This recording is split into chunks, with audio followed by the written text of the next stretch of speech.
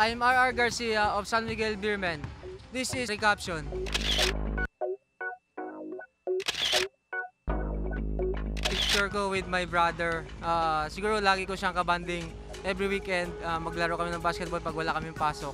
Ah, every game naman, nandito siya. Ah, hashtag brotherhood. Yan yung every Saturday kami with my family, ah, nagbabanding kami. Sa Gold Beach yan, sa Zamboanga City. Family get together. Baby ko na si Rian.